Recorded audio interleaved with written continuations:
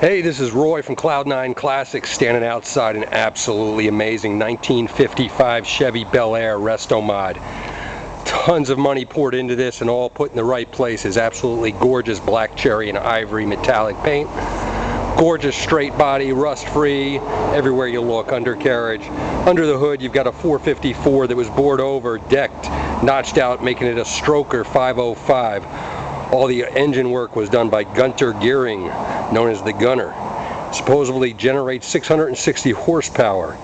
Eagle stroker crank, rods, pistons, aluminum heads, 10.5 compression, Patriot headers, 3 inch exhaust sounds amazing out of Hooker Aero Chamber mufflers, comp solid lifter roller camshaft, Dart air gap intake. It goes on and on folks. 4L80E transmission, Four-way Wilwood disc brakes, absolutely gorgeous wheels and great stance with two-inch drop spindles and two-inch drop in the rear.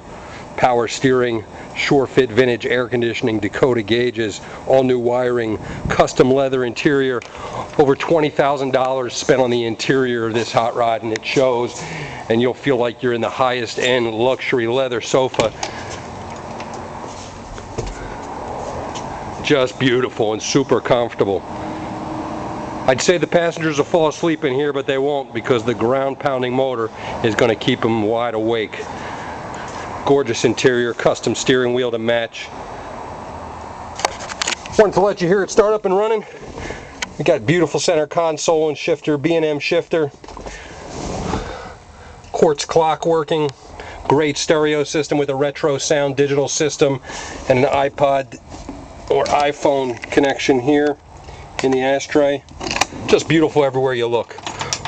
Let you hear it start up and running, beautiful gauges.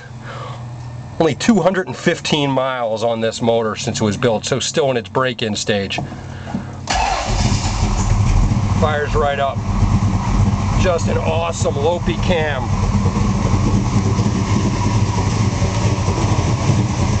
Even with all this horsepower though, this is a breeze to drive on the streets. I had it out all day yesterday and this morning. 80 miles an hour on the highway, turning about 2,800 RPM. Great sound, I'll let you hear it.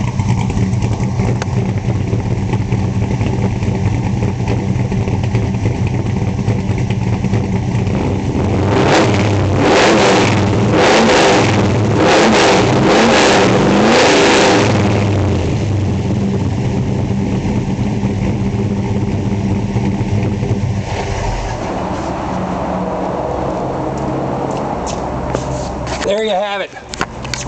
If you want a top of the line built 55, this is the one you've got to have. If you have any questions, feel free to give me a call. Thanks very much and good luck.